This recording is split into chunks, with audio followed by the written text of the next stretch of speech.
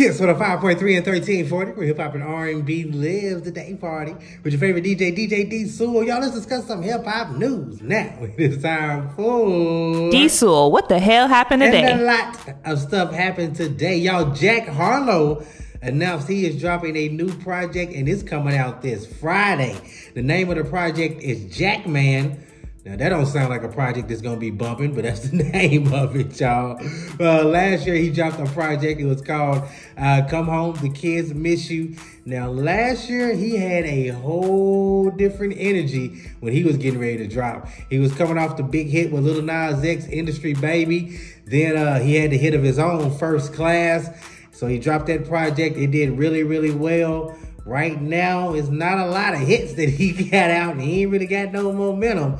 So we'll see how this project sounds Friday. Y'all, we gotta talk about NLE Choppa. He has a lot of motion right now, and the first week numbers are in for his new project. The name of that project is Cottonwood 2, and it looks to move around 23,000 units. Is that a win or a flop for NLE Choppa?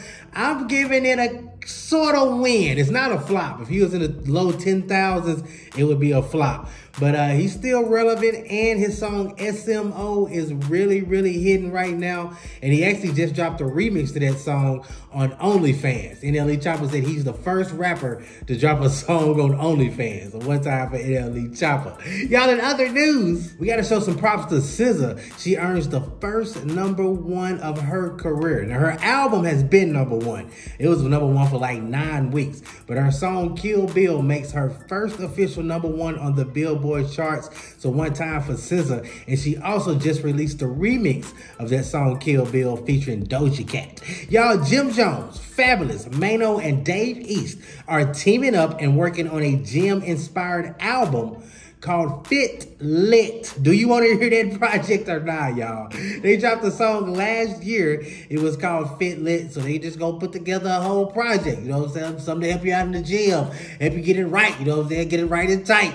You can listen to some Jim Jones, Fabolous, Maino, and Dave East. Y'all, in other news, Kid Cudi to star in and produce a new zombie movie. Kid Cudi's new film will be called Hell No. Kid Cudi will produce the film through his production company called Mad Solar he said, you'll laugh and also be shook.